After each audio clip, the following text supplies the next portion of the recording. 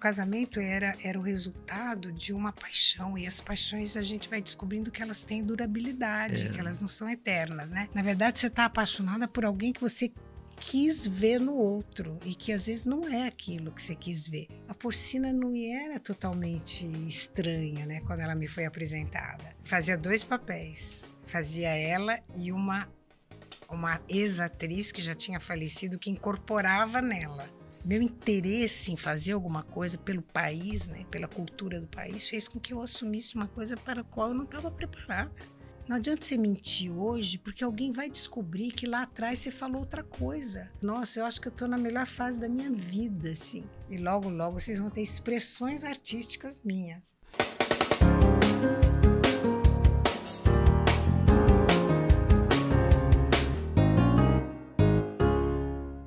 Minha convidada de hoje é a atriz Regina Duarte. Eu não vou ficar aqui explicando a Regina Duarte para vocês, porque eu tenho certeza que vocês sabem quem é, sabem tudo que ela já fez nesses 58 anos de carreira formal, né? Carreira como atriz profissional. Profissional, mas tem um período amador Anterior. antes disso, quatro ou cinco anos de amadorismo aí. Você dançou balé, fez comercial. Isso, fiz bastante comerciais, é, estimulada pelo meu professor de balé que dizia: você é muito fotogênica, você devia fazer comercial. Eu falava: como é que é isso? Ele falou assim: ah, vai numa agência em São Paulo, eu morava em Campinas, vai numa agência em São Paulo, pede para fazerem fotos suas, bota seu nome lá, faz uma ficha e depois pode ser aqui. Não foi pá, pá, pá. Foi incrível. A gente tinha aquelas listas telefônicas grossas, amarelas, lembra? Páginas amarelas. Meu pai pegou aquilo, falou: tá bom, vamos lá. Aí a primeira agência era essa, é uma tremenda agência que agora não me ocorre o nome, mas uma, uma das mais famosas de São Paulo. Ele pegou três nomes e fomos primeiro nessa. Pegamos um ônibus, depois um outro ônibus aqui em São Paulo para ir lá. Na, no, no endereço. Não, aí fomos lá para a agência. Na agência disseram: bom, procura um desses fotógrafos. Isso já era um quarto da tarde. A gente só conseguiu chegar no, num dos fotógrafos indicados pela agência. Estava escurecendo. Aí ele chegou falou: Ih, não, já estava fechando o portão. Deram uma casa ali na Avenida Ibirapuera. E, gente, como é que eu posso estar esquecendo tanto nome importante na minha história? Porque a gente esquece, depois você Como lembra. a gente esquece, né? Aí esse primeiro fotógrafo falou assim: Ah, eu tô fechando aqui, já tava com uma mochila no chão. E aí, uma hora eu falei qualquer coisa, falei, bom, então a gente pode voltar quando? Aí ele olhou para mim e falou assim: peraí, abriu a mochila, fez uma porção de foto comigo. Na e falou, porta da "É, casa. Semana que vem eu te ligo. Isso era uma sexta-feira. Na porta da, da casa barra escritório dele. Aí semana que vem eu te ligo, vamos ver, tá? Fica esperando lá que a gente vai. Não é que me chamaram para fazer uma foto outdoor da Que Bom. Olha essas coisas. Outdoor da Que Bom. Me encheram uma, uma maquiagem, levei horas tal. Assim, meu pai ganhava 75, 80 mil reais na época por mês. Não era reais, era Não, sim, cruzeiro, mas seja lá o que fosse 80 a moeda. mil 80 dinheiros. mil dinheiros. Você acredita que eu ganhei 250 para passar quatro horas fa- fazendo uma foto? 250 mil? Não, 250 250 reais. Ele ganhava Tá, 80. 250. Ele ganhava 80. Em quatro horas eu ganhei 250, Caramba! que dava mais de dois salários dele.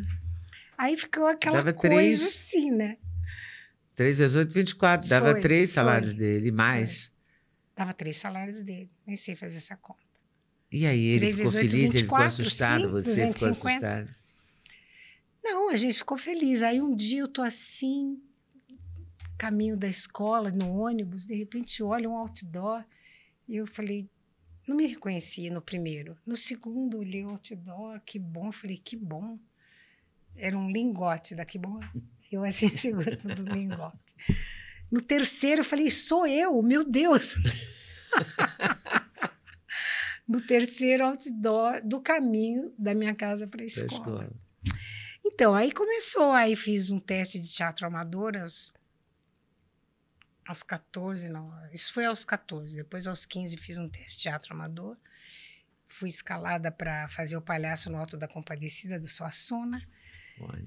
Aí, num dos comerciais, acho que foi o da Frigideiro, o Avancini me viu, me chamou para um teste, para a primeira novela, a grande produção da Excelsior na época, que seria A Deus é Vencida, com Tarcísio, Glória, Edson França, um elenco maravilhoso.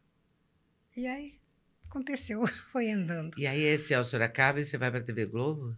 Ou teve Tupi também? A Excelsior tá acabando, tá desmaiando, assim, desfalecendo. E num determinado momento, o Boni me chama para conversar com ele ali na Praça General Osório, onde eram os escritórios da Globo. E, e lá ele fala: Eu queria você, e o Daniel Filho vai dirigir uma novela da Janete Claire, a gente queria muito você. Eu falei: Eu estou numa novela. Eu fazia uma menina que se travestia de menino para poder participar da da aquela coisa do Tiradentes, qual é o nome? Da Do Inconfidência Tiradentes, Mineira? Confidência Mineira. Eu falei, estou na novela. Ele falou, mas está na novela? Mas há quanto tempo você não recebe seu salário? Eu falei, há quatro meses. Ele falou, então você não está mais na novela. Eu falei, estou sim. Ele falou, não, você tem que sair dessa novela. Você tem que ir lá para o Rio fazer a novela com a gente. Essa Eu novela era Deus é Vencida? Porque era assim, quer dizer, não, a novela que eu estava fazendo chamava Dez Vidas. Dez. Era uma história meio de Tiradentes, assim, da Inconfidência Mineira. Aí fui, fiz a primeira novela, que foi Véu de Noiva, da Janete, com Cláudio Mazo, fazia um corredor. 40 anos sem Janete fazia- esse ano. Durante, sei lá, quatro, cinco meses, eu, fi- eu trabalhei com uma cicatriz, que sofri um acidente logo no início da novela, e trabalhei todo o tempo fazendo uma cicatriz horrorosa. Ela cobria o cabelo assim, para esconder a cicatriz. E aí um dia ela fazia assim para alguém, mostrava, Mostrava a a cicatriz. Foi linda, Janete né? Claire. Janete foi incrível, né? Incrível. Ontem eu vi Peraí, peraí, peraí. 40 anos Não, Janete. essa não era da Janete Era ainda. da na- Ivani? Janete, era da Ivani Ribeiro. Calma, eu É estou em São Paulo, Janete. na Excelsior, era Ivani Ribeiro. Quando eu fui para o Rio, é que a minha primeira novela foi da Janete. Ah, então o Boni te contrata aqui. Aqui em São Paulo, para ir para o Rio fazer da Janete Véu de Noiva. Véu de Noiva. Foi bárbaro Véu de Noiva. Não é a trilha sonora, o, seu, o, o CD, o disco. eu tive o disco. Você teve o long play? Long play. Uau, é, eu tenho também. Long play Eu da tenho, é. novela. Nossa, era importantíssimo. Não é? A música da novela fazia parte da trilha sonora da vida da gente. É, Era impressionante a importância da novela, né? É, era o assunto do dia seguinte, né? É. O capítulo da novela era o assunto do dia seguinte. Hoje eu não vejo mais isso. Também não vejo mais repercussão nenhuma. As pessoas né? assistem ainda, mas Sim. elas não têm aquela, aquela. Mas também eu acho que a gente não tem mu- muitas opções fora do telefone, da internet, do- dos Instagrams, né? Parece que isso é que virou o centro O centro das nossas atenções. das nossas atenções. Não é mais a novela, né? Impressionante. E depois do Véu de Noiva veio Irmãos Coragem logo em seguida? Veio, logo em seguida. E foi aí que você ganhou o nome de namoradinha do Brasil? O apelido, não, sei lá na é verdade, a história do, do- do título. O O título, o título veio porque eu fiz uma novela, acho que a terceira, Minha Doce Namorada. Minha doce namorada. Ainda com Cláudio. Eu fiz três novelas com Cláudio com. Cláudio Márcio, fazendo par romântico com ele. Na terceira, a primeira foi coisa, depois foi Irmãos Coragem, depois veio essa novela que era Minha Doce Namorada, que ela morava num parquinho e. Enfim. Patrícia. Patrícia. Olha, tá bem, hein? Eu tô cheio, não, eu tô, eu tô cheio de texto aqui, porque eu fui pesquisar a Regina, vou contar para vocês. Acabou a tinta da minha impressora, de tanto, de tanta coisa que essa mulher fez Ai, na vida. Juro, olha aqui, pilhas. Isso porque eu, eu não. eu- a parte. Toda a parte atual, política, porque tem vários, vários Sim. títulos: biografia, carreira, política. Eu não imprimi. Tá. Eu só imprimi a, a, a biografia mesmo, o resumo. E acabou a tinta, olha, tá vendo? Ela Olha, imprime vendo rosa, imprime 73, preto. 1973. 73. Vamos passar por 1973. Vamos passar por 73. Tá bom. 73 foi um ano importante. Foi, foi. 72, 73, que foram as novelas que realmente, onde eu senti que eu tinha conquistado um espaço assim na, na telenovela. Conquistou o Brasil, né, Regina? A gente não. Regina sempre foi uma É. marca brasileira. 72 ainda tinha ditadura, né? Tinha, Tinha. estávamos vivendo ainda, Ainda não, sob não, regime não tinha. militar, não- né? eh, Sim, ainda não tinha anistia. A É. anistia veio depois. Eu cheguei no Rio em 73, cheguei Uhum. ao Rio em 73 e ainda era uma coisa bem complicada para trabalhar em jornalismo, né? Ainda tinha Sim. censura e tal. Sim, Então ainda receitas, existia né? ditadura, é. As receitas do Você Estadão, na Fazia uma de reportagem, coco. aí falava, não, tira essa reportagem, foi censurada. E aí o jornal enchia de De receita para... receita. Tinha um doce de abóbora com coco que não saía da primeira página. A gente ri hoje, né? A que loucura, ri. né? Era engraçado, Era. né? Quer dizer, não era nada engraçado. não era nada engraçado. Olhando assim, Mas olhando pra para trás. trás, e, e- e lembrando da, da vida. Mas aí você faz outro sucesso que é carinhoso. minha doce namorada, ah, essa história eu gosto de contar, porque ela Na é doce divertida. namorada, a órfã Patrícia, depois Isso. vem Selva de Pedra. Sim. Mas antes de Selva de Pedra, logo depois do sucesso de Minha Doce Namorada, eh,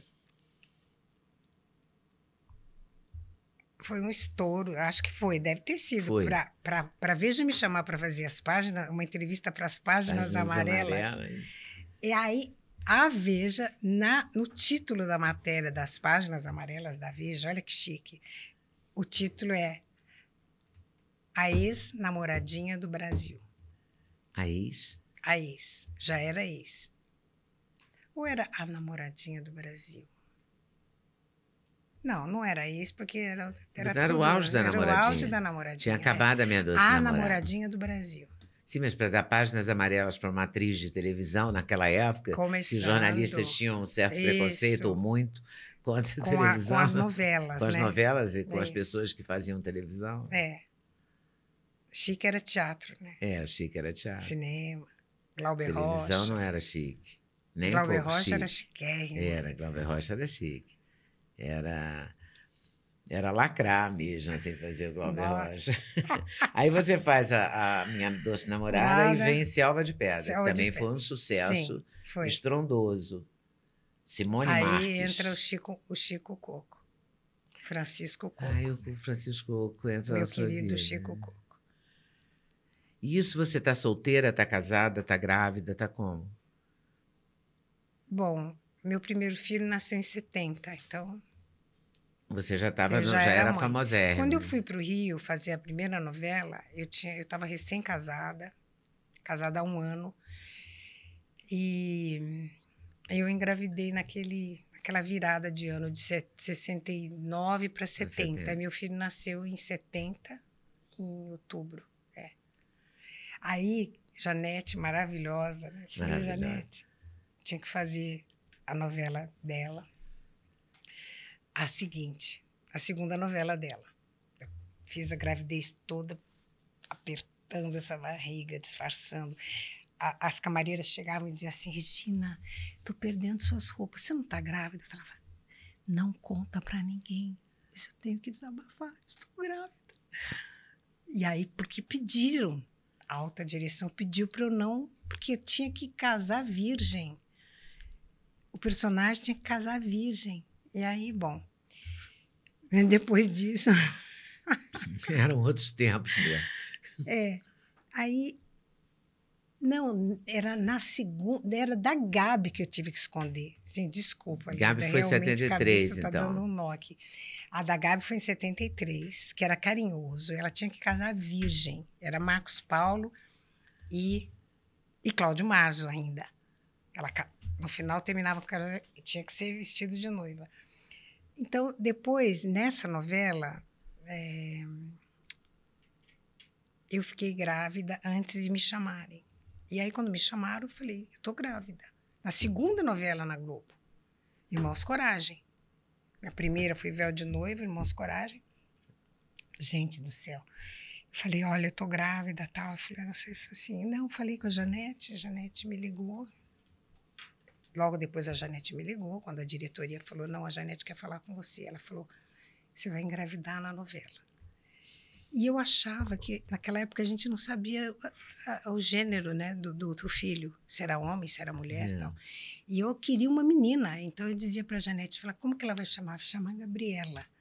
Chamar Gabriela. Ela falou, então eu vou botar no nome do personagem. Eu ainda grávida já fazia do que já tinha tido bebê, sabe? E a, o nome era Gabriela e nasce o André. nasce o meu primeiro filho o André e eu, e eu na novela tinha um bebê, claro, tudo isso montado assim nas datas apropriadas. E aí ela ela botou botou Gabriela, mas na verdade eu tive um filho do gênero masculino. e foi o André. A Janete era espetacular, né? Era uma coisa. Era né? uma coisa. Outro dia, essa semana, eu vi a Glória Pérez colocar 40 anos sem Janete Claire. Sabe que eu fiz uma entrevista com a Janete na casa dela, uma das raras entrevistas dela. E a, a neta dela disse para mim que é, viu, ouviu a voz da avó nessa minha entrevista. Eu fiquei muito comovida. Filha da Neuzinha Caribé e do Alfredo hum. e Dias Gomes. E eu fui na casa da Janete. E a Janete tinha tanto pavor de entrevista que ela fez uma febre Aí ela tomou remédio para febre, eu fiquei sentada na sala esperando a febre baixar para ela me dar uma entrevista. Você acredita? Para hoje de sábado. Isso é uma coisa que eu nunca tinha contado assim publicamente. Eu não sou muito dada a confidências, não, mas uhum. vivi coisas muito, experiências bastante especiais. E essa foi incrível. Com certeza. Porque eu entrevistei a Janete o Dias, é uma entrevista que está tá na internet, né? E, e, é incrível. Ah, eu vou olhar onde que eu acho ela ficou, ah, tem, Eu tenho até um site muito. que tem. Essa entrevista deve estar no uhum. site, mas está na, na internet. E a, e a, filha da Neuzinha, que eu agora não vou me lembrar o nome, mas é filha da Neuzinha com o Alfredo, falou isso para mim. Foi a, voz, a, primeira vez que eu vi a voz da minha avó, porque ela morreu antes da menina nascer. Né? Uhum. Tatiana, talvez. Eu não sei, porque são duas meninas. E eu não me lembro qual das duas me disse isso, mas eu acho que foi a Tatiana. É impressionante. E, e voltando para as novelas, você se incomodava de ser chamada namoradinha do Brasil? Você gostava? Não, eu gostava. Você ficava aflita? Não, não. Eu comecei a ficar aflita depois, mais para frente. Foi quando eu pedi para Globo, porque eu comecei a me repetir, os personagens vinham sempre iguais e, e todo mundo escrevia para mim, escrevia assim com essa menina ingênua, dócil. E a própria Janete. Pedi para ela na novela. Como é que chamava? Fogo sobre Terra. Fogo sobre Terra, para ela segurar. Fazer um personagem um pouco mais. E aí o público reagiu muito contra, reclamaram muito com ela. Aí ela fez o personagem ficar cega ela fica cega, então ela não enxerga. e aí genial. ela vira era uma coitada. Genial. Aquela menina toda cheia de atitudes, de rebeldias, entendeu? Com os pais, o quê? Com o namorado. Aí ela ficava cega e totalmente passiva e submissa. Aí o público gostou aí dela. Aí né? gostou dela, agora coitada, vitimizada desse jeito. Né? Mas só a Janete E aí, tudo bem. Coisas. Aí, depois dessa, eu falei, Boni, Daniel, eu preciso sair daqui. Eu preciso... Eu quero sair da TV Globo. Eu volto depois, prometo que volto, mas eu preciso sair. Não, se quer sair, se precisa sair, se precisa. Eu quero fazer teatro, que foi de onde eu vim. Minha carreira é toda estruturada em teatro. Eu quero voltar para o teatro. Assim, então vai, vai lá. Você vai ficar recebendo metade do seu salário para a gente ter certeza que você volta mesmo. Eu falei, gente, tá. aí foi legal porque isso me deu toda uma estrutura para até para produzir, para conseguir patrocínio. Tudo. Foi Réveillon. Foi Réveillon. Agora eu vou contar outra coisa. Réveillon de Flávio Márcio. Sim, que jornalista. Era de Juiz de Fora.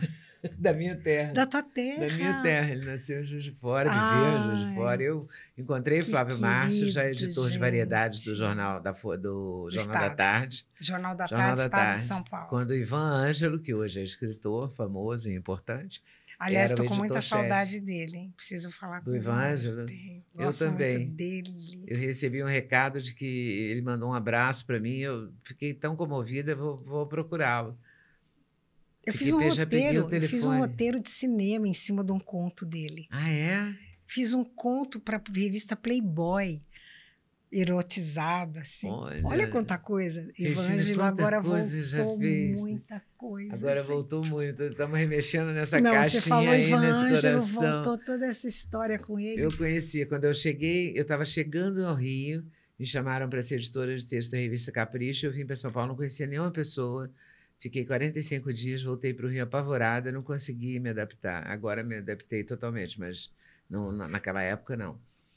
Quer dizer, Você uma mora mineira. lá, né? Você mora Agora eu estou morando aqui, mas aqui. agora já tem cinco anos. Mas naquele momento que eu cheguei aqui, eu era uma mineirinha querendo praia. Querendo, Sei. sabe, o posto 9, Ipanema, aquele bar, aquele cinema, aquela Sim, coisa sim. badalada de Ipanema. E aí vim para São Paulo. Ivângelo me recebeu muito na casa dele, me tratou, poxa, com um carinho inacreditável. E Flávio Márcio, foi uma emoção conhecer Flávio Márcio, o autor de o Réveillon. autor de Réveillon, A peça é. que trouxe a Regina Duarte para o teatro. Porque para a gente era a peça que tinha te trazido, entendeu? É, é. Para a gente, volta, telespectador. né? É. De volta. Já tinha feito a Megera Domada, já tinha feito... Sim, mas aí Muita você Antunes, fez tanto é. sucesso na TV, Uhum. né? Você fez Antônio, Antônio. Filho foi uma pessoa importantíssima na sua vida. importantíssimo. Sim. Você fez com ele muitas peças? Eu fiz é, Blackout, que a Eva Vilma fez depois. Fiz é, Romeu e Julieta, né? Não, Romeu e Julieta não. Aquele, aquela da, da Catarina. é, meu Deus. A Megera Ai, Domada. Megera Domada. Eu fazia a irmã da, da Megera, que era Irina Greco. Olha, Olha quantos nomes, assim. Nossa. Casada com Armando Bogos. Armando Então, Bogos, que fez gente, Hair incrivelmente. olha que tempo maravilhoso, né? Não, se a audiência da nossa idade estiver ligada, vai ser muito bom, né? Vai ser muito bom. Vai ser um relembrar, Vai. uma emoção atrás da outra. Mas Réveillon foi o divisor de águas na sua Foi, vida. foi mesmo. Era, era muito impactante, uma, uma peça muito, muito, muito re- retrato assim da classe média brasileira, sabe? Ele escreveu, aquilo ali foi uma inspiração extraordinária. Ele Você acha tava- que valeria hoje? Então, a peça, ela já, já se falou em, em remontar, mas a peça ela é complicada, né?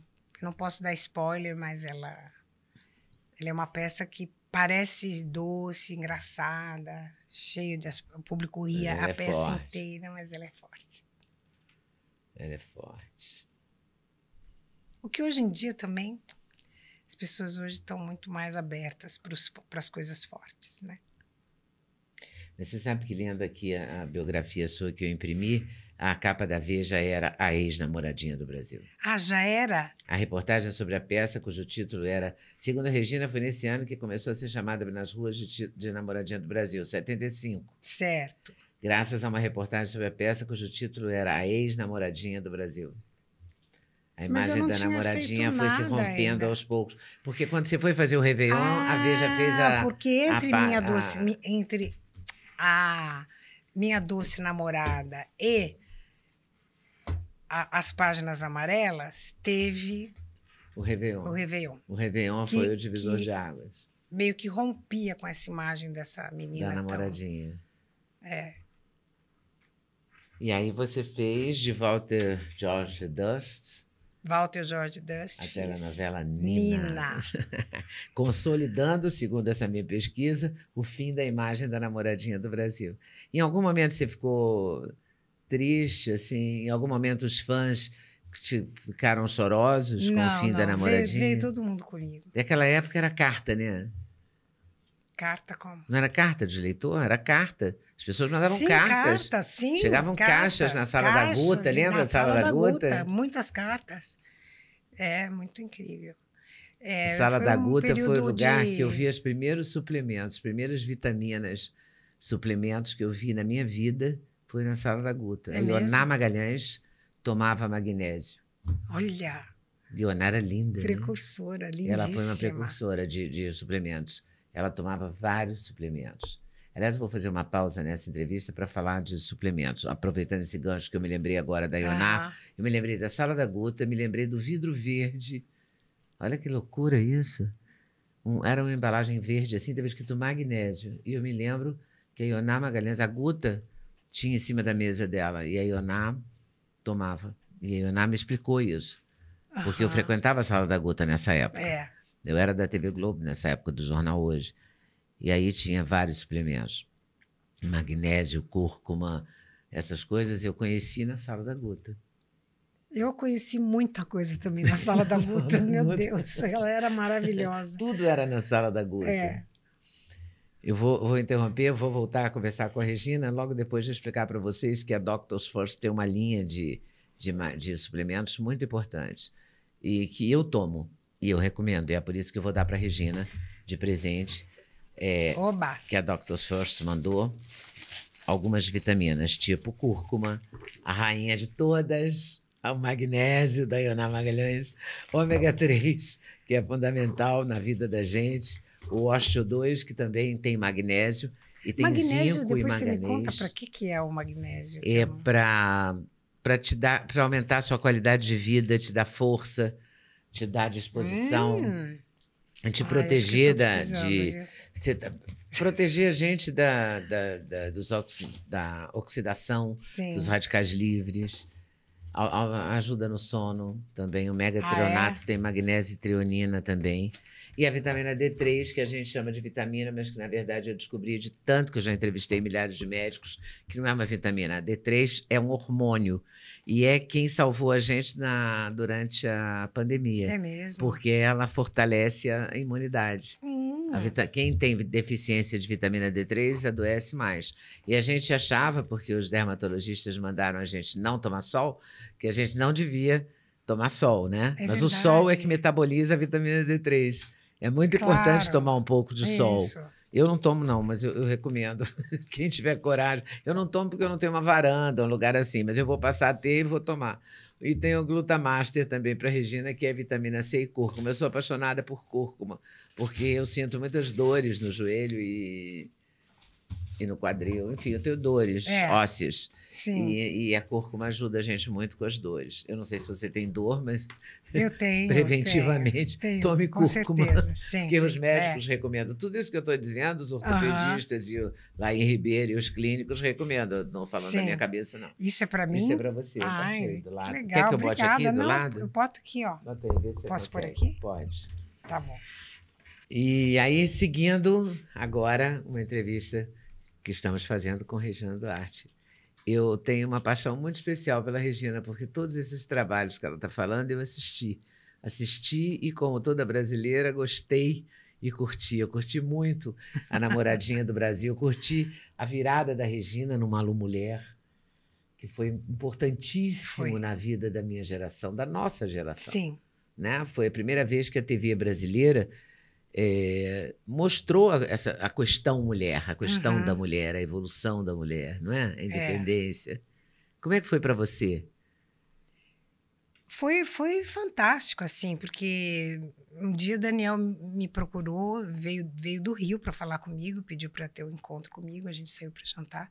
E ele disse: Olha, eu tenho um projeto, eu queria muito que você participasse. Eu estava recém-separada, então eu estava muito com o perfil dessa mulher que ele estava Tratando. tratando, que ele queria refletir. E, e é inspirado num filme da época que eu não lembro agora. Eu sei que o final do filme é ela andando, ela se separa do marido e ela vem carregando um quadro assim, um enorme quadro. Ela sai da vida do cara levando um quadro que ela gosta. E terminava assim, ela andando na rua com aquele quadrão enorme, assim, muito bonito.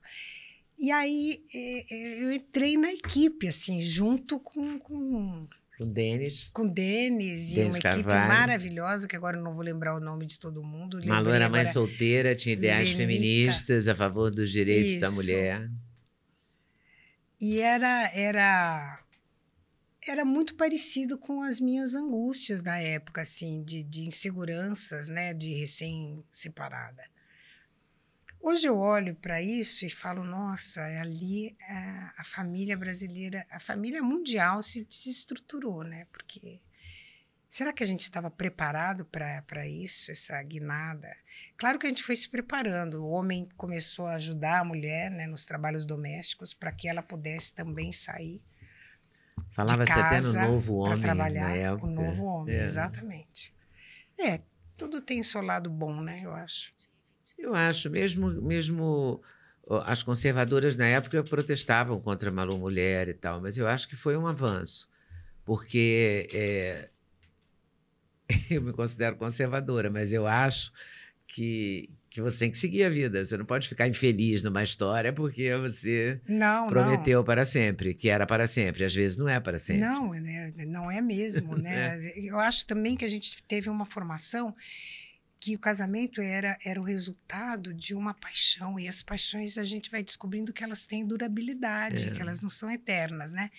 E é uma pena, eu adoraria paixão, ter de uma também, paixão eterna. Eu também. Acho lindo Mas um casal que está casado há 60 sim, anos. Sim, é lindo. Quando, lindo. quando, dá certo, quando, quando dá, dá certo, match, é lindo, não é né? que chama match é, agora? Match. Quando dá match é maravilhoso, mas quando não dá, eu acho uma loucura você ficar vivendo com uma pessoa, entendeu? E, e podando e delapidando coisas suas, da sua, do seu jeito de ser, do é, seu jeito energia, de agir, da sua, sua energia, história. porque o outro não, não aceita isso, porque o outro contesta isso, porque o outro é extremamente diferente disso. Então, né, é, o que eu acho que a gente precisava era mesmo é, ter uma outra formação para o casamento. O casamento é, um, é uma sociedade eu acho que muito mais do que amor, tesão, essas coisas, ela, ele, ele é o resultado de duas pessoas que têm um projeto de vida parecido para poder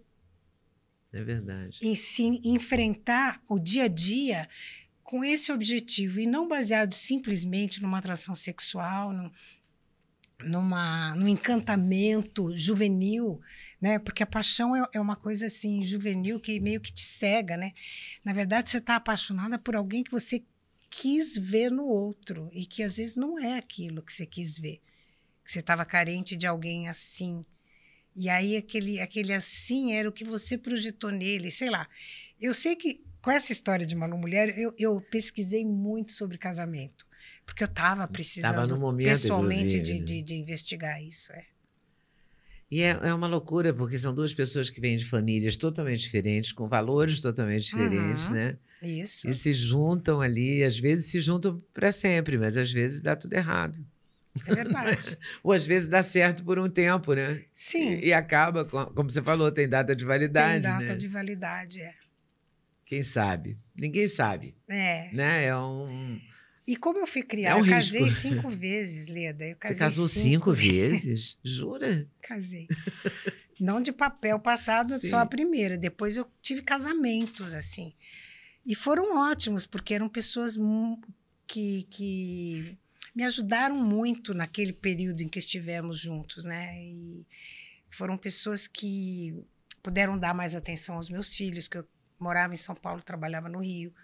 Então eu vivia na ponte aérea para lá e para cá, então tinha uma pessoa em casa de confiança, eles se deram, deram bem com as crianças e mas engraçado, cinco casamentos e no final é um aprendizado, né, que você vai fazendo. Aí você diz, bom, então agora eu estaria pronta para ir mais um casamento. Pois é, você está pronta? Não tô, não. Eu quero ter amigos. Não, não casaria de novo. De jeito nenhum. Agora você quer o controle remoto só para você. Isso, tem isso aí, o controle remoto. Não, mas é, é, legal quando a gente tem um, um companheiro, né, uma companheira para a vida toda e tal, mas, mas sei lá, também tem esse outro lado, né, de não ter e ficar bem, né? Você está bem? Você é feliz hoje? Super feliz. Nossa, eu acho que eu estou na melhor fase da minha vida, assim. Eu acho que eu tive muita sorte e soube viver essa sorte de uma maneira é, muito boa para mim, assim.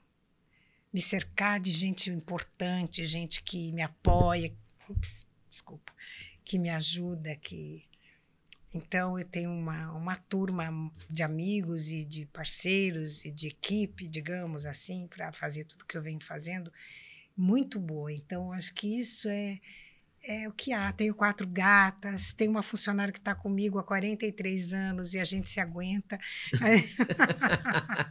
Poxa, isso é fundamental, né? Sim. 43 anos, é a maior relação, né? Não tem isso. Por que, que você foi dormir na sala? Você está bravo comigo? né? Essas coisas que tem no casamento. Tem vezes, no casamento né? não tem. Fui dormir na sala? Por quê? A gente não podia conversar e fazer as pazes antes de dormir. Regina, Regina. É. E aí você foi, você foi depois, voltando para a carreira, depois do Malu Mulher, teve- você apresentou o especial Mulher 80, que também foi um marco da Ah. televisão brasileira. Não é? E de uma geração. Sim. A gente se sentiu ali Não, ali eu representada. estava né? no auge, todas as minhas ídolas juntas. Eu não sabia nem, não conseguia nem decorar o texto que eu tinha que falar, porque eu era meio que apresentadora. do Era né? apresentadora do Mulher Eu 80. fiquei tão aflita, assim, de estar. Aflita no melhor sentido, de estar de, de, de estar com aquelas mulheres todas. E assim, quando o Daniel conversava com elas, né? Porque tinha aquelas gravações do que elas. de como elas estavam, o que que elas achavam da vida, como é que era. Enfim, aqueles trechos de entrevistas que o programa tinha, mais as músicas. Gente, que coisa linda que foi aquela experiência. Sou tão grata por ter vivido aquilo. Foram quantos anos de TV Globo? 50? Então, para a Globo eu vim em 68, né? 68. Tô Não, péssimo. 69, porque o André nasceu em 70. Vou ter Não que é fazer isso? a conta. 79, 89, 99, 2009, 2019, 2020, 21, 22, 23, 43, talvez. Eu não sei fazer conta. Quem é bom de conta para me ajudar? pega uma calculadora aí. Pelo amor de Deus. Toma o meu telefone na hora da entrevista, eu não posso fazer conta. É, ela foi para a TV Globo em 1969 e saiu em 2022, 23? 22. 22. Eu saí em, eu saí em 2019. olha lá. 2019. Que aí fui 2020. Não, 2019 eu saí. 50? 50 anos. 50 anos. 50 anos. Tá é. vendo? Sou burríssima. Eu nunca soube fazer conta bem. Eu Você fazia não. conta bem no não, colégio? não, eu era eu péssima. sempre ficava contei nos segunda época. dedos. Eu Sempre nunca fiquei em segunda época, segunda mas época. sempre contei nos dedos em prova de matemática. Nunca Depois sei, passava. só tabuada que eu sei de É. cor. Mas o resto. Tabuada, sabe, Sei, decora. até hoje. Eu decorei, porque eu não era incompetente para fazer A do conta. 7, você sabe. Tem 7 vezes decora. 7, 49, 7 vezes 8, 56, essas coisas eu sei. Fiquei até com vergonha Vou até agora. do 5. Depois do 5, já não sei mais. Ah, meu Deus. Em 82, a Regina fez. Nesse Malu Mulher, para quem não sabe, que deve ter na internet um Malu Mulher, tinha Elis Regina, Fafá de Belém, Gal Costa, Maria Bethânia, Zezé Mota, Simone, Marina Lima, Rita Lee, Joana e quarteto em si. Olha isso. Olha que maravilha. Olha isso. Agora vocês pesquisam aí se tinha mais alguém. Eu sei, a minha pesquisa diz isso. Em 82, a Regina faz O Sétimo Sentido, que é a última novela das oito da Janete Claire. Luana Camará. Isso. E, e fazia dois papéis. Fazia ela e uma, uma ex-atriz que já tinha falecido, que incorporava nela. Então ela virava a Priscila Capriti. Luana Camará, toda certinha, virava a Priscila Capriti. Muito doida, precursora da porcina, Ah, para mim, né? pra eu olho você. hoje, hoje eu olho e falo, gente, a porcina não me era totalmente estranha, né, quando ela me foi apresentada. Eu já tinha feito a Priscila Capriti, que era uma doidona. Olha, mas a gente ficou com a porcina no, no imaginário, assim, né? Ela te praticamente te perseguiu durante muitos anos. Sim, Né? até hoje. Até hoje. Até hoje. As pessoas vão lá na minha mostra de arte, né, de, de artes visuais, e elas. É difícil alguma que não cite a porcina. Quer dizer, então, o que para o público é a, a personagem mais forte da Eu sua acho carreira? que sim. Eu acho que sim. A porcina era com Lima Duarte? Era? Tinha os turbantes, né? Sim. Era Aquele turbante tem uma história maravilhosa. engraçada Ah, também. conta. A gente tem horas, a Tem, gente não, pode a ficar. gente pode contar. A gente tem hora, Qualquer mas coisa você faz em tempo. dois capítulos. então, era assim, eu tinha feito permanente para fazer a porcina, porque estava sempre em todos os personagens, cabelo liso e tal. E eu falei, nossa, mulher, eu vou chegar lá na Globo de permanente. Fiz permanente. Meu cabelo é muito fino, muito, Muito liso. muito né? liso, muito fino. Então, Fiz permanente e tal, cheguei toda crespa lá na, na Globo e tal. Só que depois do segundo mês de gravação, o permanente começou a morrer, teria que fazer mais um. Só que caía cabelo pra caramba. Aquela permanente daquela época, de 85, era péssima. É, era cheio de Era, química. não, era muita química. Então, eu não queria fazer outra permanente. O que, que eu fazia? Se eu tinha alguma cena importante, eu pedia para mudar o roteiro. Pessoal, pelo amor de Deus, eu preciso arrumar meu cabelo, porque vai ter uma festa que nós vamos gravar. Sempre festa era no final do dia. Vamos gravar uma festa. O que, que eu fazia? Eu inventei de fazer rolinho no cabelo. Às vezes era com cerveja, às vezes era com. Porque cerveja você sabe que é um, né? É um fixador. É um fixadorzinho. Aí põe a laqueta, bom. Aí, o que, que o Marco Aurélio, que era o, o nosso Marco Aurélio. Marco Aurélio, maravilhoso. Maravilhoso. Ele é 50% responsável, porque a roupa da porcina me ajudou demais a ir acreditando naquele personagem. né? Então, ela. Aí eu fazia, e ele falou: não. Aí o primeiro dia eu entrei em cena com lenço e ele tava, tinha ido almoçar e ele não viu. Quando ele entrou no estúdio, ele me viu com aquele lenço amarrado, assim, com as pontas assim para cima. Que que é isso?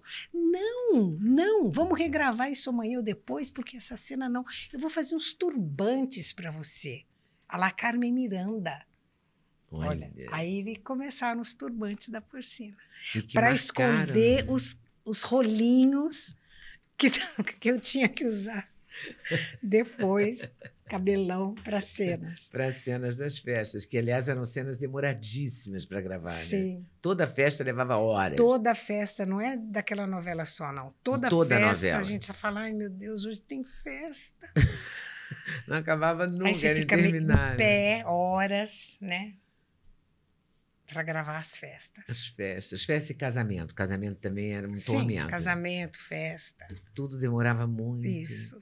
O te- na, verdade, acho que o ator espera muito. Né? É, um, é uma coisa terrível. Agora é bom assim, quando se acaba e aí você assiste as cenas, você fala, nossa, que legal isso que a gente fez. Essa turma que danada. Te dá um, um prazer tão grande, né? Elaborar aquilo tudo. É muito lindo. E um trabalho de equipe, né? É meio como um time de futebol. É, televisão Pra fazer é um gol, né? trabalho de equipe. Para fazer o gol, você tem que estar todo mundo muito. Muito Focado junto, no focado, objetivo, é. propósito, não Isso. pode perder não, nada. não. E não gente tem cansaço, não não tem tem nada. nada. A Viva Porcina foi rock santeiro. Né? Uhum. Mas a gente não falou da Rainha da Sucata e não falou de Vale Tudo. Nossa Senhora. Não, tem muito sétimo sentido. Toma, onde é a Maria do Carmo? A Maria do Carmo é a Rainha da Sucata? Rainha das Cartas. A Raquel que é de Vale Tudo. Raquel vale tudo. A Raquel era certinha? Era muito certinha. Certinha até demais. Completamente diferente de porcina. Sim. Porcina histriônica para É. fora, né? E, você levava essas coisas para casa? Isso cola em você de alguma forma? Quando você fazia um papel de uma Não, pessoa mais Não, extrovertida, você ficava mais extrovertida na vida real, não? não, não. Na verdade, talvez, porque quando eu estava fazendo a porcina, eu estava casada e o marido da época falava assim. Quando a gente começava a discordar e discutir, ele falava: Você está falando igual a porcina, você está argumentando igual a porcina. Você não é a porcina, pelo amor de Deus. Eu dizia: Não é verdade, eu estou, eu estou aqui, sou eu, não estou não, não estou interpretando nada. Você está falando igual a porcina, repare. e com certeza, claro que tinha de tinha. verdade, tinha. Tinha né? uma, uma, uma, uma autoridade que ela tinha, né? E que eu, na vida, dificilmente, acho que muitíssimo raramente aparece. Na vida, não. é. Na minha vida, não. Sou bem Você discute alguma vez na tranquila. vida? Discuto. Discute. Sim, Mas você perde a paciência? perco. É. Ué, normal, né? Normal. Não, porque você tá, passa a impressão de uma calma, assim. É, a gente não geral, pensa isso pra Digamos que 20, 30% perde as estribeiras, mas os outros 70% são sempre vamos com calma, vamos ver, e que tal? E se, e se víssemos por esse ângulo, sabe? Bom, você foi das Helenas do Manuel Carlos? três Helenas. Três Helenas. Só Não três. só uma, Páginas não. da vida, história de amor, De amor. e por amor. Três Helenas. E elas, elas, não, elas é eram genial, né? bem diferentes uma da outra, viu? Manuel dizer, Carlos, bem é- não. Manuel Carlos, Glória Pérez, é, Janete, é um time É. né, Espetacular. espetacular. Quem mais você Único. destaca? Tem algum autor que você tem preferência, teve Eu preferência? queria contar um pouquinho da, da Manuel Carlos, dessa primeira novela que eu fiz com ele, que era História de Amor. História de amor. História de Amor, eu- 1995. Era tão maravilhoso. Eu amava tanto aquela, aquele personagem, eu amava aquelas vizinhas, aquela, aquela é, mulher do ex-marido. Elas eram um time de mulheres assim. E a Carla Marins, que fazia minha filha, era tudo tão bom, tão bom, que eu não queria que acabasse. Quando anunciaram vai acabar, ele está escrevendo os últimos 30 capítulos. Eu fui na sala do Boni e pedi, Boni, por que, que a gente não transforma essa novela em Peyton Place, Boni? Pode durar 15 anos. As pessoas estão amando, a audiência é ótima. O elenco todo é apaixonado pelo que faz. Ele riu falou: Não, Regina, o Maneco já tem outra coisa preparada para depois. E aí veio por amor.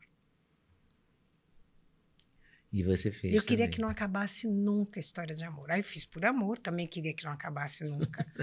Quer dizer, num determinado ponto fiquei louca para acabar, porque não aguentava mais a pressão que a mentira nos impõe. Quando você mente, é tudo um, um- um- desespero, né? Porque você não pode ser descoberto na mentira. Principalmente, claro, que quem tem retidão de caráter, É, claro, né? quem tem moral, caráter. quem tem moral. Mentiu, cara, ferrou. E aí eu comecei a sofrer muito com ela. Porque ela tinha aquilo, ela não podia contar, ela não podia contar. O marido lia o diário dela, ela agarrava ele pelo pescoço e falava: cala essa boca, cala essa boca. Era o Paulo Meu marido, José que é? fazia. Paulo José. Estou assim porque eu vi há pouco tempo essa cena, porque as pessoas publicam né, as coisas É. passadas. Eu, eu acho como seria, quer dizer, estranho isso, de repente você ter uma carreira que está aberta para quem quiser ir lá olhar. Não é incrível? Por exemplo, eu penso na Ioná Magalhães, ela fez coisas extraordinárias. Tem novela da Ioná no YouTube? Tem novela do Ioná no, no não sei aonde, na, na Globoplay? Não tem. Não tem. Você quer. Como que era a Ioná atriz? Não tem mais. Queimou no incêndio, não sei lá da Globo, Ah. lembra? Lembro. Então, aí é, viver pena, hoje, quer dizer, né? a história está toda aí. Não adianta você mentir hoje, porque alguém vai descobrir que lá atrás você falou outra coisa. Você reparou que que situação que a gente tem que ser verdadeiro para não ser pego na mentira? É verdade. A gente tem que ter peito aberto, viver a vida assim, com retidão moral, falar a verdade. Porque senão, um dia ou outro aquilo vem à tona, tá tudo aí, é só pesquisar. Eu tenho visto coisas né, em política, assim, de gente que falou uma coisa lá atrás e tá falando outra exatamente oposta, Totalmente diferente. não é? Não é? E não, não é só político, não. assunto. Tem gente, não ator, autor, assunto, assunto ator, tem ator, tem, Tem. tem muita gente que tem. se É desmente verdade. a olhos vistos. E tem muita gente também que dá desculpa, né? Que conta para você uma história que, na verdade, você olha. de- Fala, estou muito doente, por exemplo, não Isso. vou, por isso que eu não posso fazer isso. Aí daqui a pouco você olha na internet, a pessoa está numa festa, dançando, no mesmo dia que ela Sim. estava muito doente. Quer Isso. dizer, as mentiras estão. Tem um lado bacana nisso, né? Que está evidenciando as mentiras. É verdade. Não é? É bom. não, isso. nada tem um lado só, né? Quer dizer, que é que bacana aí, isso. sei lá, bota uma ordem na. Meio que força a pessoa a ser verdadeira. Isso. Essa porção é boa, né? É, Mas aí lá vai, aí lá vai você, lá vai com Antônio Fagundes, aí vai. Vai. Né? o astro. Aí chega no Ai, astro que, ganha o M, adorei, né? Adorei. Melhor Adorei o telenovela de Astro. Nossa, 2011. Como eu gostei do Astro, gente. Clô. Clô Rayala, amava. Amava também. É, Você gostava delas todas? Das todas, me apaixonei todas? por todas. Todas? Sim. Sempre se apaixonou pelos Eu só não papéis? me pra- apaixonei pela segunda fase da Raquel. Porque eu acho que ali ela deu uma, Ela vacilava. ela vacilou. ela escolhe a filha que ela sabe que é malandra, que ela sabe que é mentirosa, que ela sabe que é canalha. Roubou a casa dela, né?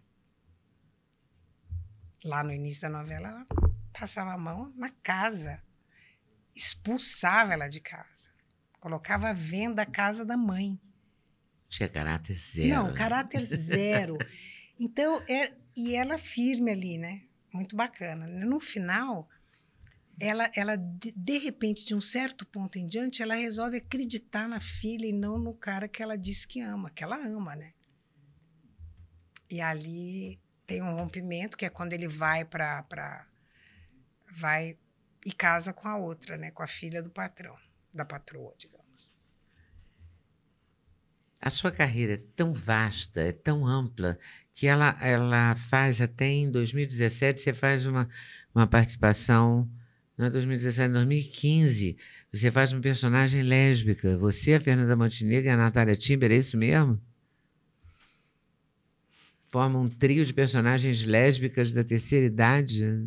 Não tô, Eu tô louca.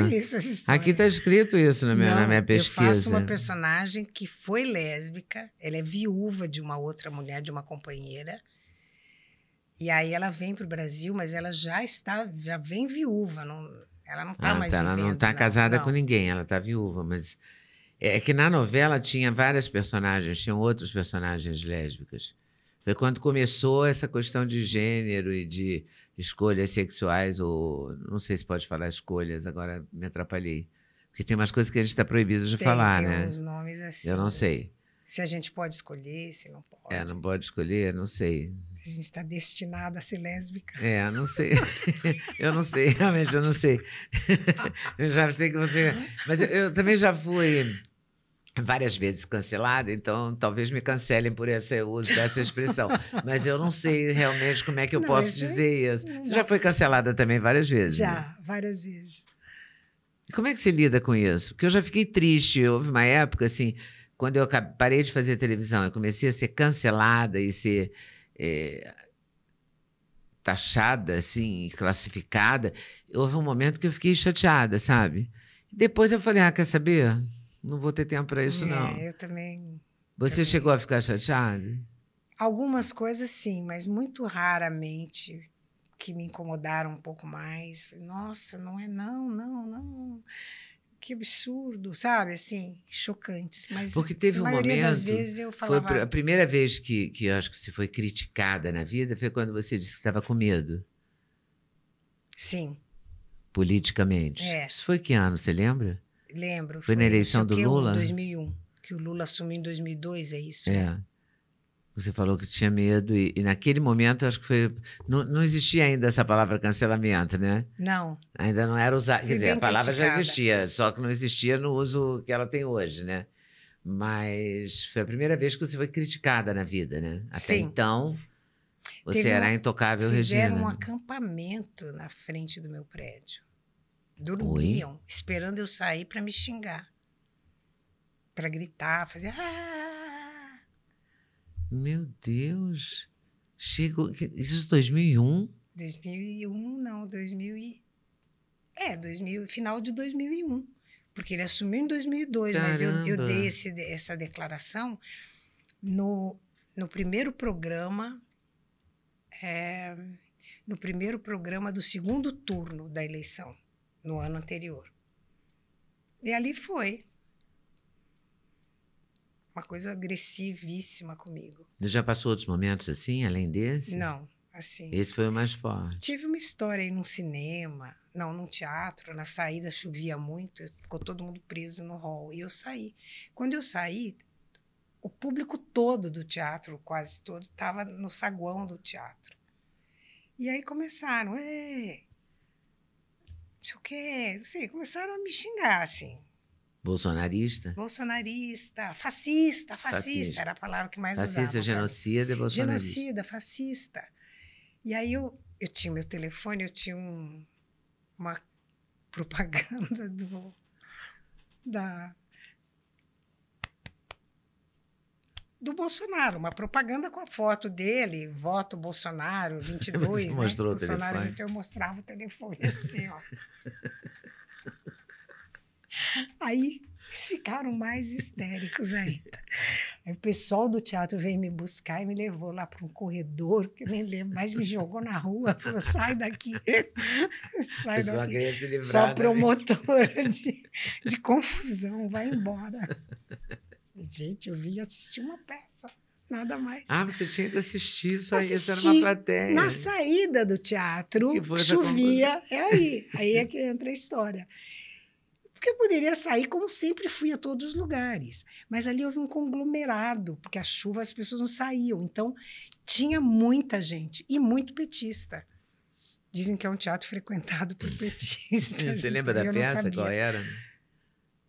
Não era uma peça, era um musical, era um show. Era uma coisa assim, eh, não lembro bem o que, que era. Ai, que bom que não lembro. Era bom, mas era bom. Mas era bom, o espetáculo era bom. É, o espetáculo era ótimo. Valeu a pena ter ido. Valeu.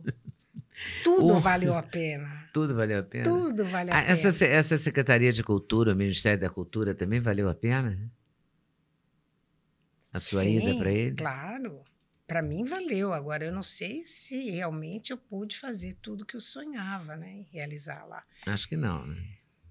Não, não, porque já Será fui. que é possível realizar Eu já coisa? fui e peguei um- uma, uma situação em que havia uma, um antagonismo, uma polarização muito agressiva já na época, né?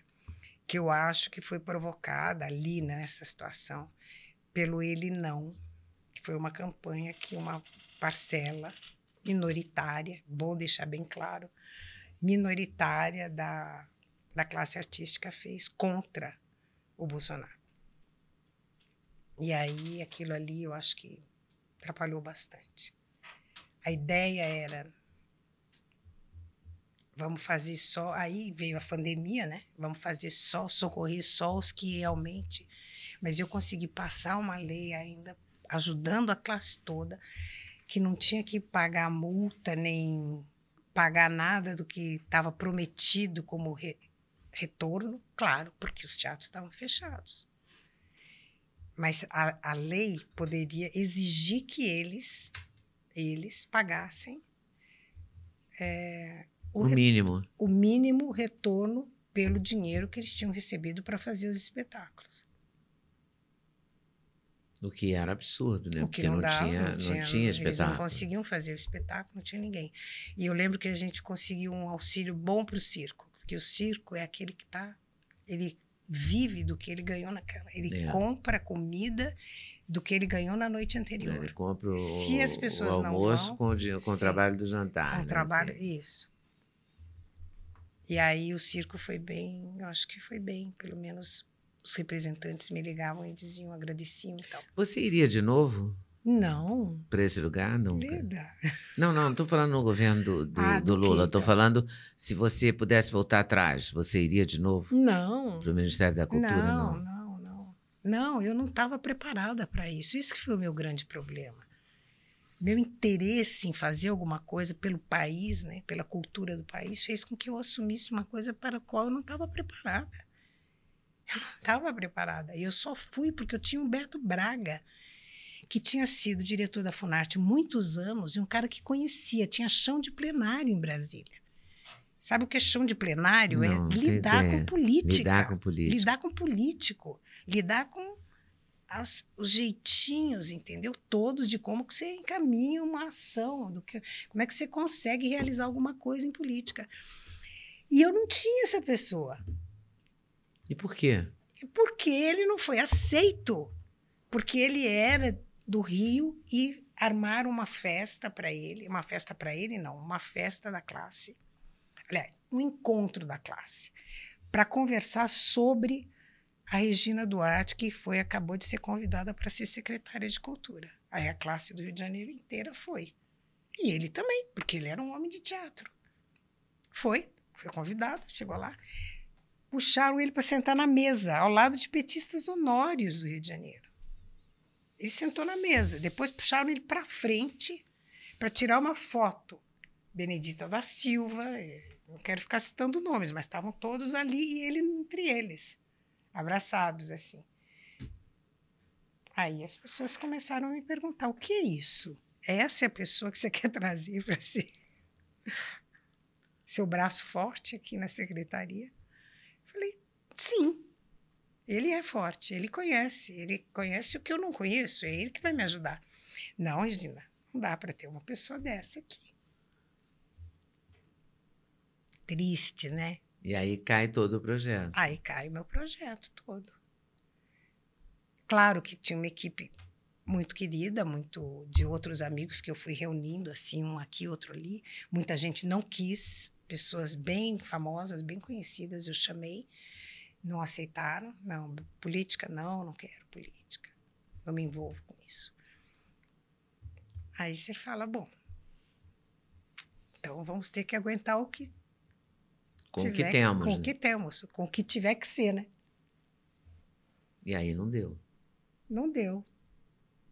E como é que isso bate numa pessoa tão bem-sucedida, tão dedicada, tão organizada e tão firme como você? Porque, na verdade, você tem uma carreira sólida, você sempre trabalhou ali muito muito disciplinada, né, Uhum. Regina? Você sempre foi, acho que você veio do balé mesmo, né? É. Você teve a disciplina do balé.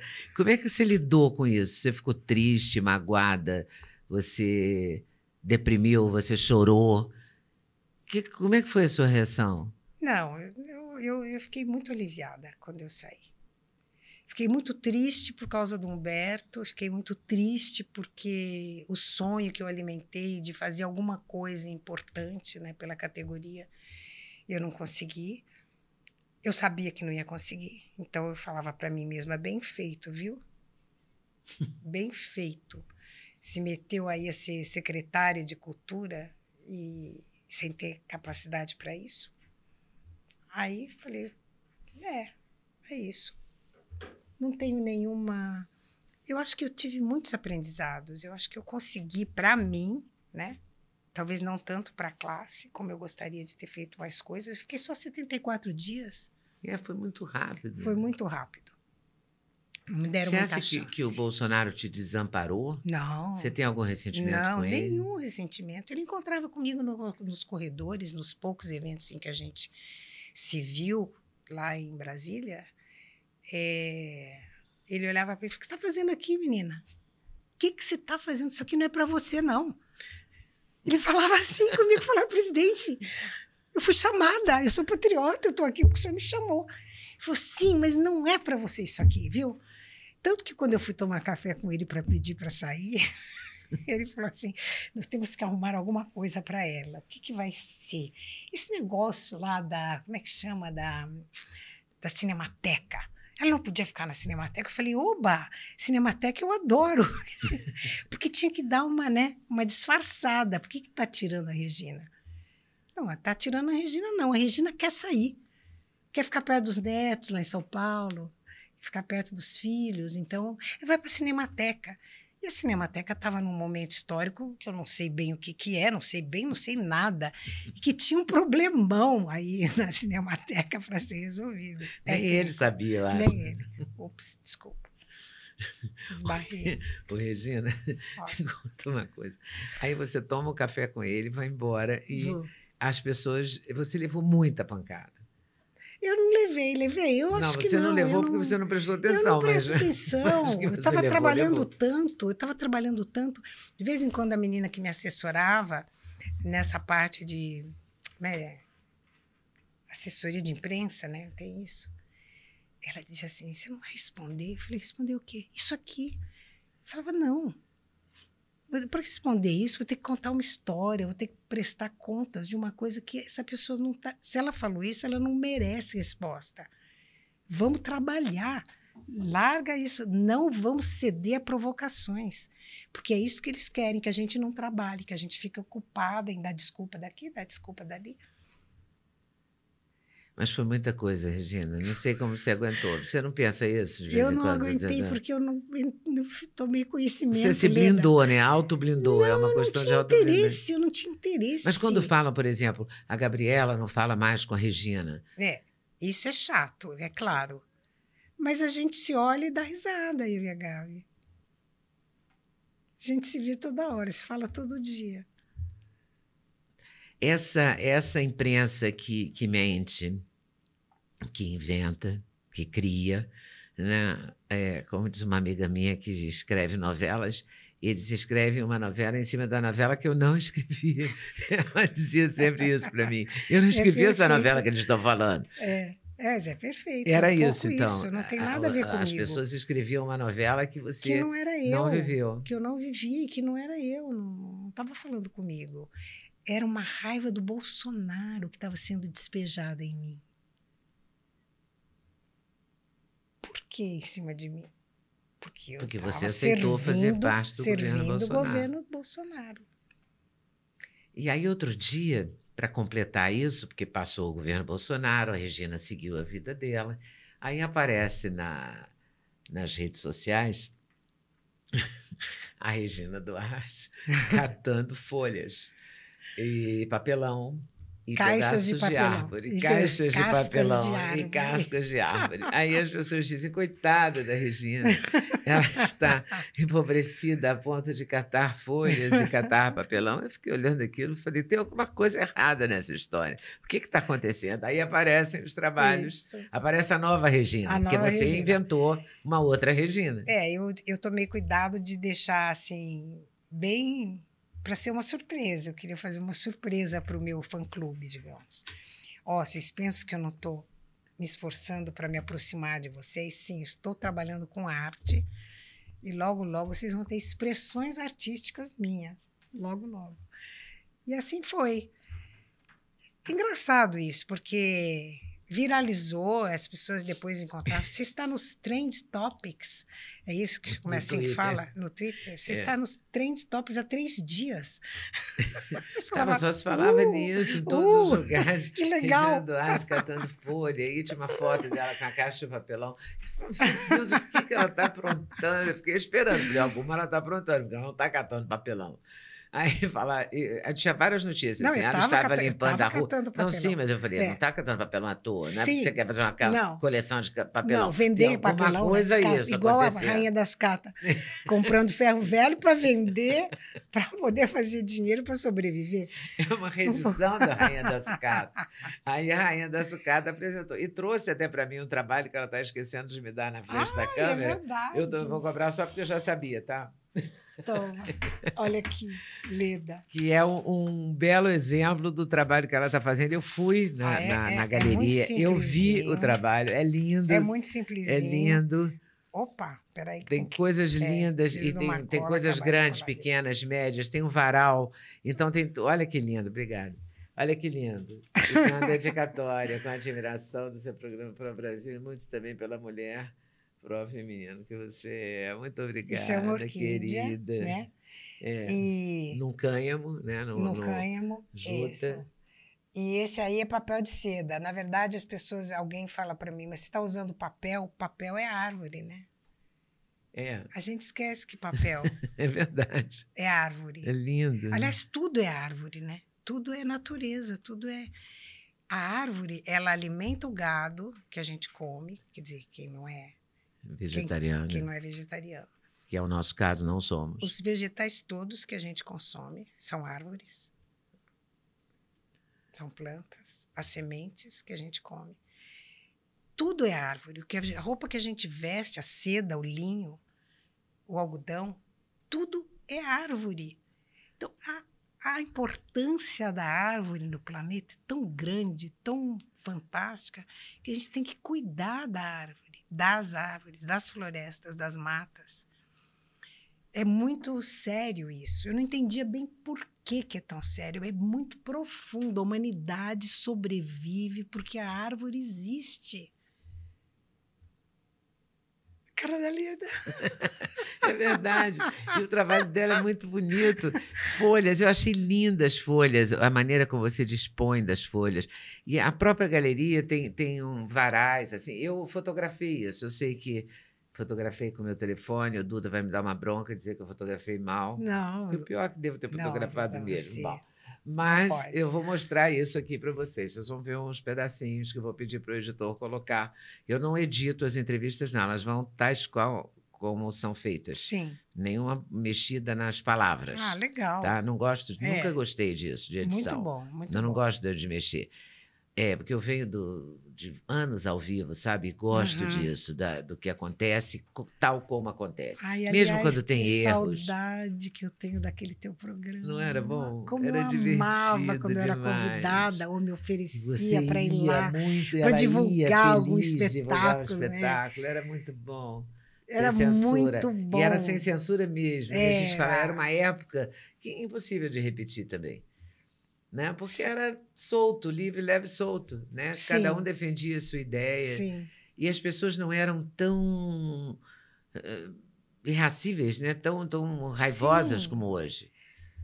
Não é? É, isso não- só não tem cinco anos, Regina. Só tem cinco anos isso. social e política que existe hoje, né? Não tinha isso. Não tinha. Todo mundo era o que era. e Era, ninguém é. ficava se perguntando em quem você votou, em quem você vai votar. Entendeu? Não Era, tinha era- isso. valia tudo, podia tudo. Cada um podia ser o que era. O que era.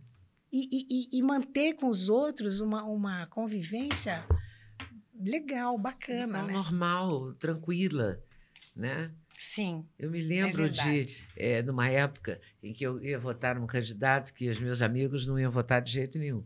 E eu estava grávida na época, isso tem o quê? 40 anos.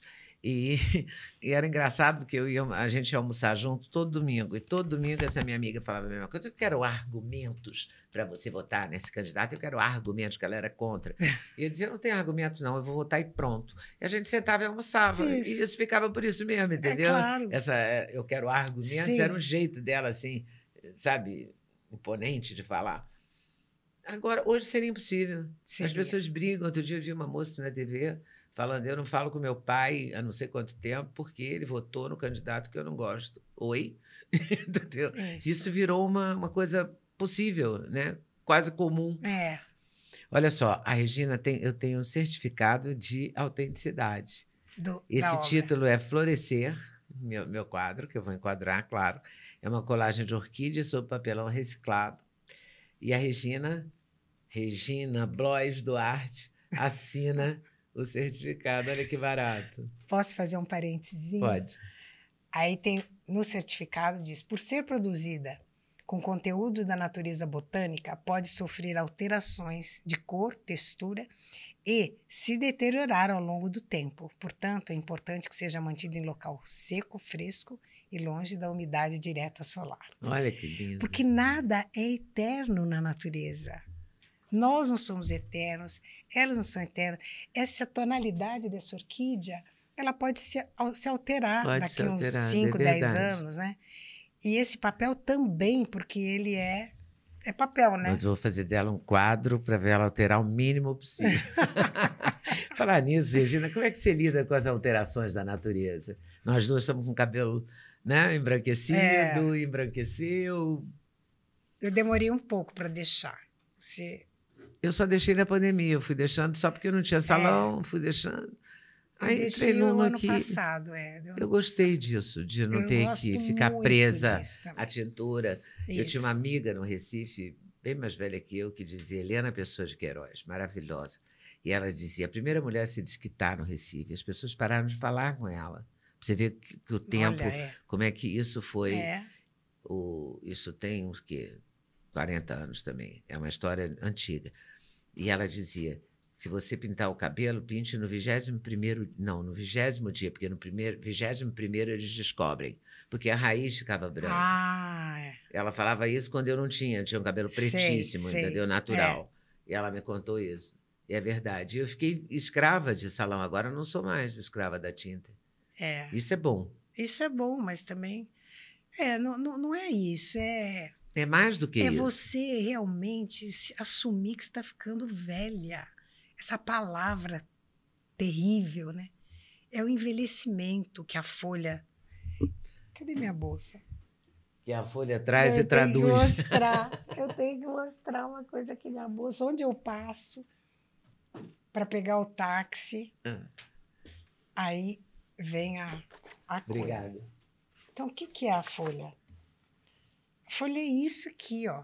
Ela vai enrugando, ela vai Você- perdendo a Você pegou no caminho. Peguei no caminho. Então, Aí ela faz um quadro lindo com isso. É que a gente olha assim e fala, é só uma folha. Mas ela faz, tem uma, tem um, eu vou olha botar isso, aqui, olha tem um essas lindo. tonalidades. Eu- O criador não é um, um, um, pintor extraordinário, gente? é verdade. Vê se não é. Olha que coisa é linda. lindo. Não é? É lindo. Então. E ela vai trazendo, e você vai vou, catando. E eu vou catando. Eu estou fazendo isso há 10 meses, 11 meses. Aqui, ó. E a, a galeria fica assim no sábado, que a Regina Fica vai. Olha lotada. aqui, que coisa linda. É.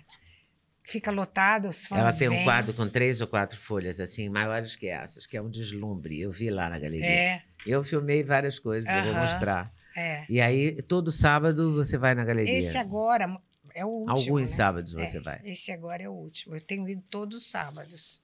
Não, eu tenho ido durante a semana também, porque E os fãs vão, e os você. fãs vão, e é maravilhoso, e, e dão presente, dão flores, né?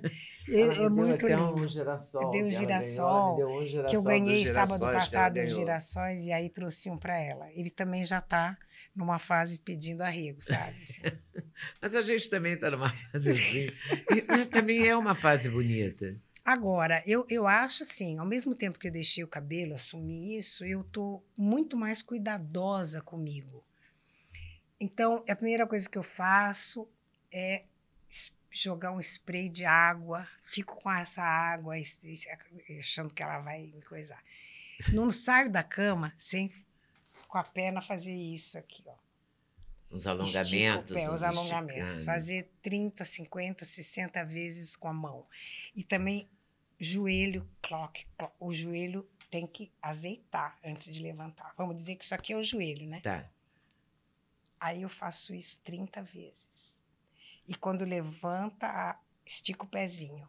Pé de bailarina e pé, Pé de palhaço. Pé de bailarina, bailarina e pé de pé de palhaço. Então, tô mais cuidadosa com essas coisas. Estou fazendo yoga. Ah, é? Sim. E é bom? É maravilhoso yoga. É maravilhoso. É uma coisa assim que te leva a prestar atenção na sua respiração. Quando você presta res- atenção na respiração, você está prestando atenção no coração.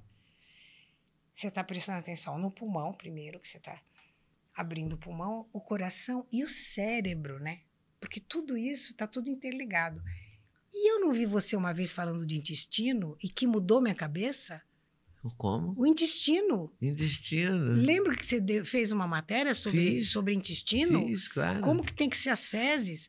Eu não sei se a gente pode falar Formato de de fezes. banana, formato- Exato, lembra disso? Lembro, claro. A partir dali, Tem uma escala de cocô. esse teu programa E o melhor cocô é esse, esse tipo banana. é tipo sinal que você banana, está assim, comendo bem. meio arredondadinho. assim.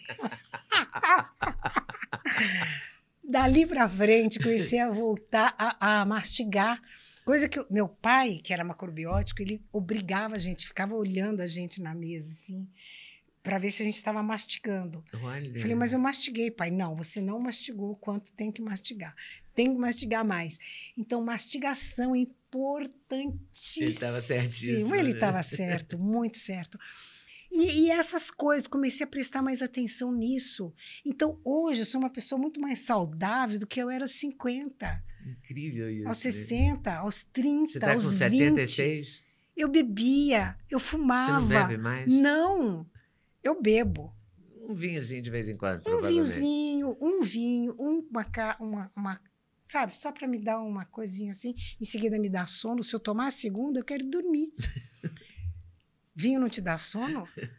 Gente, eu fico assim, ó, completamente mole.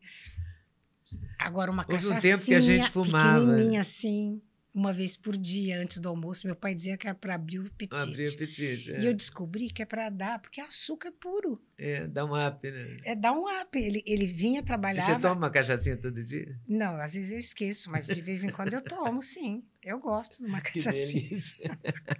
Desce queimando. é- Desce queimando, mas Aí você já se liga, entendeu? Porque é açúcar na veia, né? É verdade. Sabe Agora, coisa- cuidado que precisa viciar, hein, Leda? É, não você pode não vai viciar. tomar cachaça, não. Não pode cuidado. viciar em nada. Olha só, tem uma coisa que eu não falei com você que eu gostaria de falar. Eu vi vários vídeos de você com seus netos, Sim. fazendo coisas na cozinha. Ah, receitas. Sim, teve uma fase linda Uma fase a gente, muito legal no Instagram, a eu gente via não faz isso. mais, mas era delicioso. Era muito legal, né? Fazia um prato, cozinhava, preparava um jantar. E você gosta de cozinhar? Eu gosto, mas também ainda não estou com tempo para tudo, né? Eu gosto. Quando eu vou, eu gosto. E você está muito dedicada Eu a esse, a sua porção ovo. artista plástica. Meu ovo eu faço. Seu ovo diário? É, com. Como é que chama aquele. Queijo ralado. Não, não. Óleo queijo ralado de... não. Nada, nada com, com lácteos. Sem lácteos? Não me dou bem com, com lácteos. Então, tive três pedras no rim por causa de lácteos. É mesmo? E a pedra foi examinada e deu que era resultado de concentração de lactose, excesso de lactose. Aí você Virou cortou... pedra. Nossa, você cortou os lácteos. Não é que eu cortei, você faz né? o ovinho com o quê, então? Com mante... eu com, faço com aquela- manteiga? Eu faço vinho, não, não faço Com nada. manteiga, aquela guia? Não, nada, nem manteiga, nem azeite, nada. Eu jogo na frigideira antiderrapante. É antiderrapante que fala? Não. É anti- Antiaderente. Antiaderente, é. Isso. Aí eu jogo Que lá e jogo um pouquinho daquela aquela grano, granola. Granola, granola. salgada. Salgada, o doce um pouquinho, que eu continuo amando doce, né? Que é o pior para mim é segurar o doce. Como eu amo doce. Não, você não mudou nada, seu corpo é o mesmo, tudo igual. Porque eu Você malho, né? Eu faço musculação, que eu acho que musculação é muito bom para a cabeça. Ah, você faz quantas vezes por semana? Três, Olha, em casa, quarta na e sexta. academia, onde? no prédio. No prédio. Tem uma academia, o professor vem. A yoga eu faço em casa. Mas a musculação, é- eu sinto que a minha cabeça funciona melhor quando. Eu Você fiz hoje de manhã. Falei, tenho lida, tenho que fazer minha musculação. Minha cabeça não está Minha funcionando. cabeça tem que ficar ligada. Ah, é. E a sua porção vó, você gosta? Amo, amo. Tem quantos netos hoje? E é muito louco. Eu tenho sete netos. Nossa, que maravilha. Tenho sete netos. É, é isso, um pouco. é, queria estar mais perto deles, mas metade aqui em São Paulo, outra metade no Rio, então é complicado. Eu fico eu fazendo ponte aérea como fiz a vida inteira, né? A vida toda. Morando em São Paulo, trabalhando no Rio. Agora, morando em São Paulo, claro, porque minha casa é aqui, eu adoro São Paulo. E, e aí os netos estão lá no Rio, então é ponte aérea, então Mas é todos carro. já da Gabi estão aqui, né? Os da Gabi estão, só. Não, eu, é, eu, eu, e o Theo. Ela tem quantos? Três Dois? aqui. Três aqui. E quatro lá. Quatro lá. Então você tem que fazer a ponte aérea mesmo. Faço. O que, que é seu sonho agora? É voltar à televisão? É nunca mais fazer televisão? Como é que é a sua. Como é que, que você pensa? A ideia é não voltar à televisão, é a básica, né? Agora, claro que se surgir alguma coisa que eu não tenha feito ainda, que seja realmente fascinante, assim, que me, me desperte uma paixão, porque eu acho que só tem sentido, as coisas só tem sentido de fazer com paixão, né?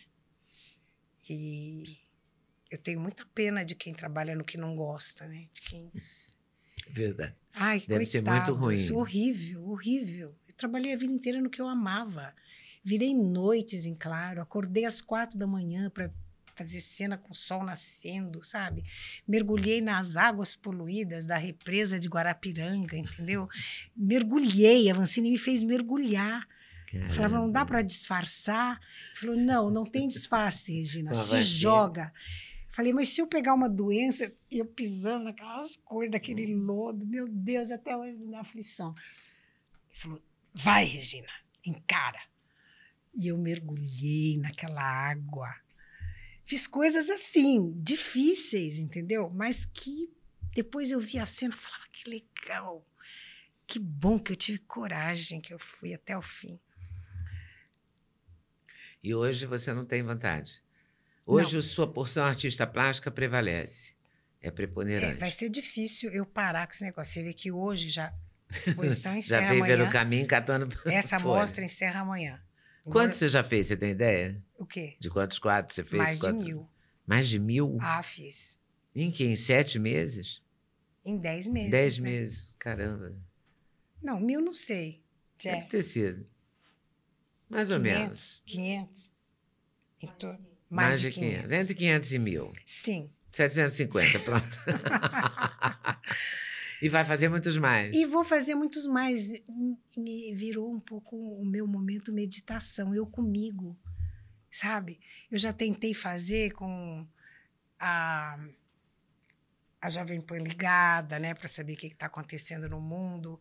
Eu já tentei, mas não, aí eu tenho que desligar tudo E se dedicar. e aqui. só.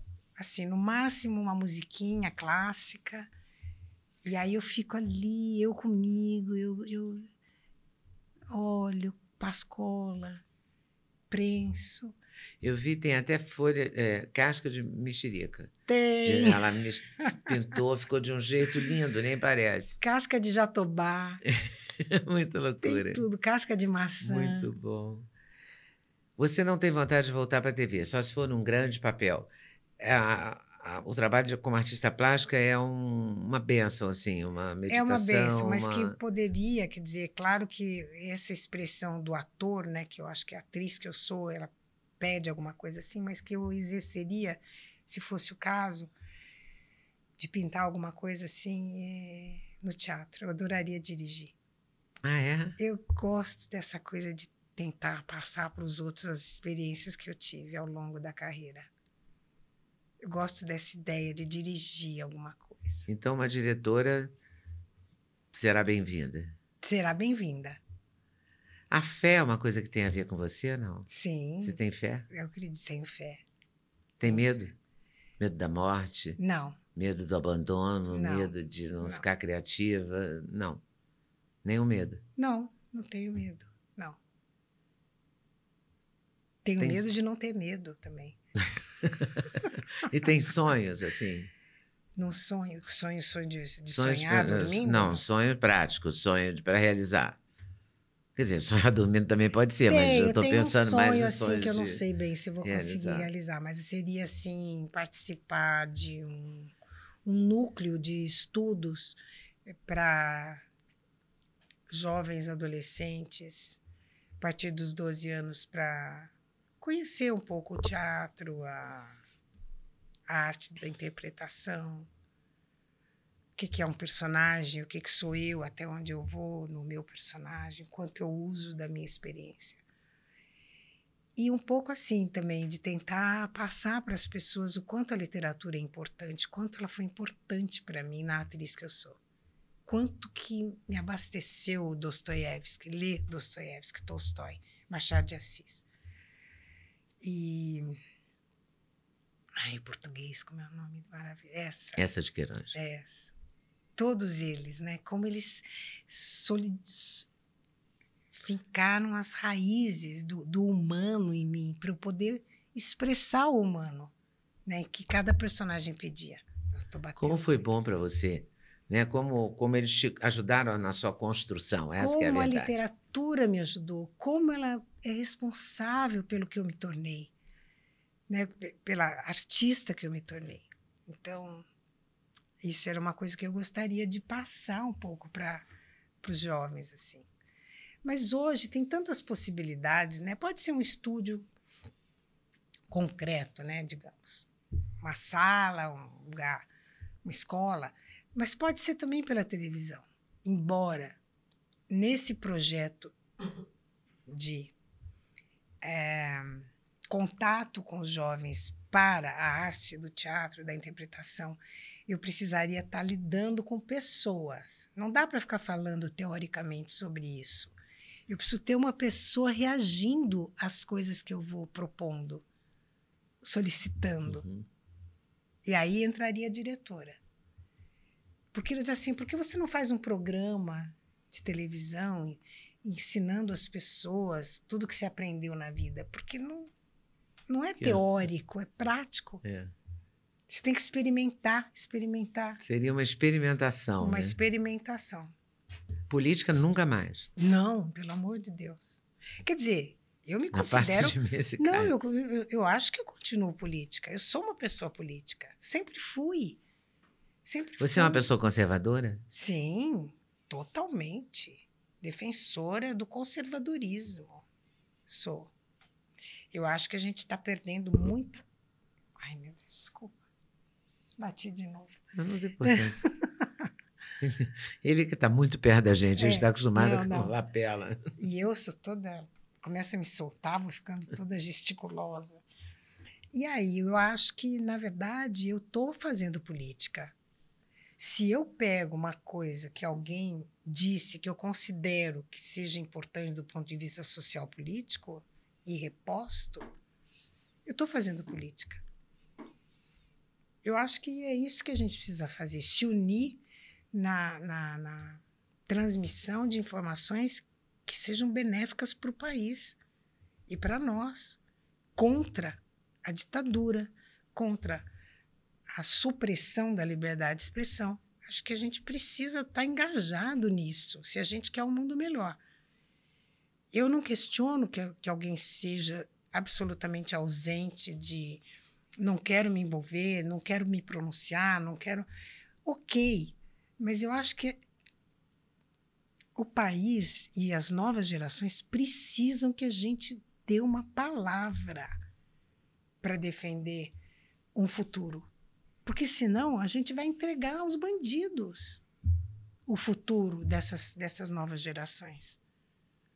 E a gente tem responsabilidade, né? É, é essa palavra que eu estava querendo buscar, a responsabilidade que a gente tem, que eu tenho que eu não acho que seja obrigatório a ninguém. Sou totalmente plural, acho que cada um pode ser o que quiser, tal, mas responsabilidade é uma coisa que devia ser mais cultivada. E o que, que você gostaria assim de duas palavras, três palavras, sei lá, dizer para os seus netos? Deixar como qual é o seu legado assim? É, a responsabilidade seria uma, a disciplina uma. seria outra. O que mais? Honestidade. Nada como a verdade. Nada como a verdade. Fiz dois personagens que mentiam. Mentia horrível. É desconfortável. Porque tem um fantasma o tempo todo. A mentira, ela, ela te acompanha o tempo todo na vida. Quer dizer, pode ser que tenha gente que mente na boa, entendeu? E não tá nem aí. Mas não é seu caso. Não é o meu, eu acho que não é do ser humano normal. o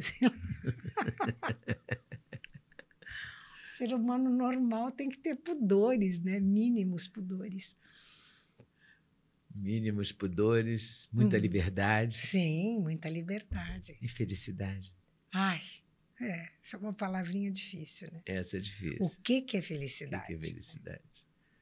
num período, num, num, estilo de vida tão consumista como que a gente vive, né? Se é comprar isso, comprar aquilo. Oi. Felicidade é muito mais que isso. Muito mais. Aberto para alegria, né? É o que me parece mais próximo de felicidade. É verdade. Momentos de alegria, né? Momentos onde você se alegra.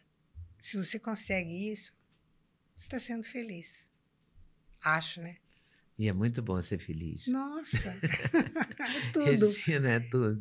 Eu fiquei muito feliz que você tenha aceito esse convite, que você tenha Imagina. vindo e que a gente tenha tido essa conversa. Muito, Sim, muito obrigada. Eu estou querendo isso há muito tempo. Eu também.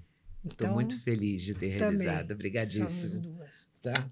Obrigada, beijo. beijo. Olha, quanto a vocês, eu espero que vocês tenham gostado. Eu adorei.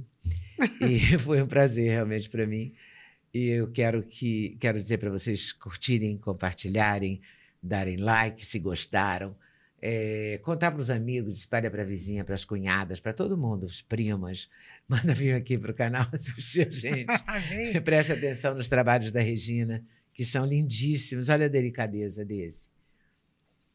Acompanhe o trabalho dela. Está por aí. Né? E sempre estará perto de você, porque vai ter um e-commerce, provavelmente, né? Sim. Porque Regina, eu vi lá na galeria, estava assim de gente. A gente vai continuar vai vendendo continuar pela internet. Pela internet. É. Tá bom. Tá bom? Obrigada. Valeu, Obrigada. gente. Até a próxima.